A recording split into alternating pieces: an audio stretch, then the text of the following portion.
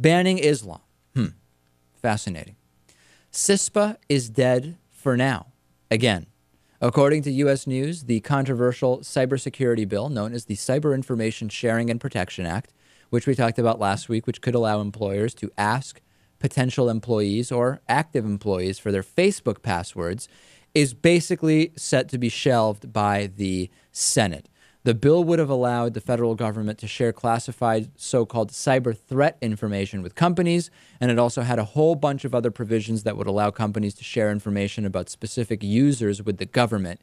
And privacy advocates also were really worried about the NSA, the National Security Administration, getting involved, and, and uh, there were a number of different concerns and a committee representative says we're not taking CISPA up. Staff and senators are divvying up the issues and the key provisions everyone agrees would need to be handled.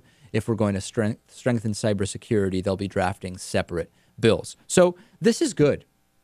Although individually, it looks like a lot of the things that would have fallen under the umbrella of CISPA are going to be included individually in different bills. But I want to bring up a different issue here, which is that remember, many of the Patriot Act provisions that were put in place by George W. Bush and extended by President Barack Obama can be used and interpreted to provide similar types of access to what is feared would happen under CISPA. Let me give you an example.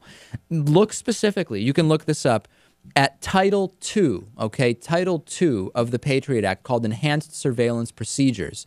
And if we look at a lot of these things, they, they are they're similar. There's no way to, to argue that they're not similar and provide similar latitude.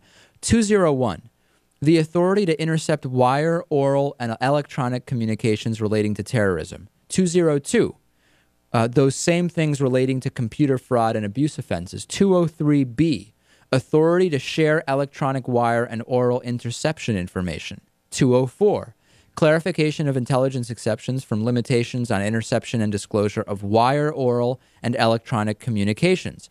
209, seizure of voicemail messages pursuant to warrants. This goes on and on and on. Right. So I think it's good that CISPA has been shelved for now. I think it's important to look at actual protection from cyber terrorism. But remember, Title II of the Patriot Act contains very, very similar provisions. Yeah, you got it. And I think we're going to see, like you said, pieces of this here and there. And of course, completely different bills altogether right. as time goes on. I mean, I think we're not going to see anything that's really intelligent and protects us and creative until we see like a younger generation in office who isn't as disconnected from the technology as the people Absolutely. we have now. And understands yeah. how the internet is actually used. Right.